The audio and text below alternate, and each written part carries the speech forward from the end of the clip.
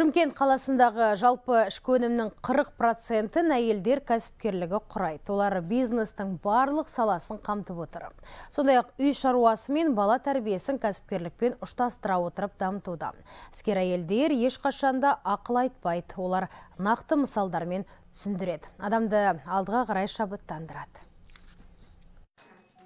Гүлнар Сүйенованың мектебінде бірінші сыныптан бастап балаларға есептегіш құралдың көмегінсіз ойша есептеуді үйретеді. Әрі уақытты үнемдеуге баулиды. Іскер келіншек өз мектебін 20 жыл бұрын ашқан.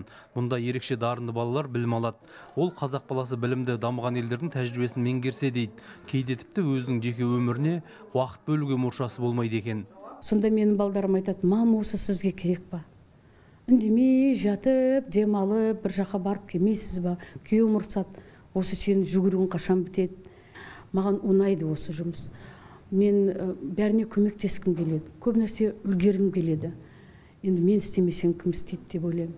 Ал гүлия жүзденова жас кезінде күйеуім көп ақша тауып мен үйде отырсам деп армандаған екен. Алайда бұл арман ғана болатын. Шынайы өмірде бәрі басқаша болды. Тұрмысқа шыққан соң тоқсаныншы жылдары жолдасы екеуі кішкентай дүңгіршекте дәрі сатты қиын күндерді бастан кешірді.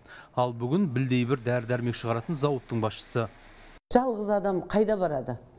Ештеңе де істей алмайды. Ал мынау мамандары жақсы болса олар көрінбейді көзге. Олардың еңбегі өте зор.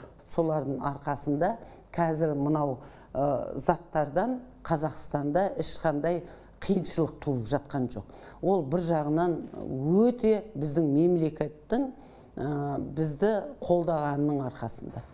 Қазір шымкент қаласында 26 мыңнан астам әйел кәсіпкерліктің түрлі салалары бойынша жұмыс істеп өз кәсібін дөңгелетіп отыр.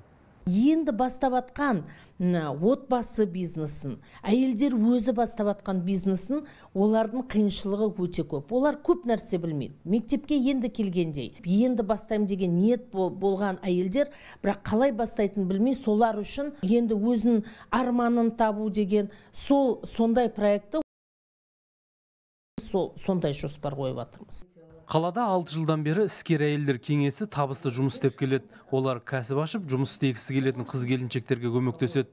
Тек іскер әйелдер ғана емес өмірде жол болмай қиындықтан шаршаған нәзік жандыларға да қол ұшын созады.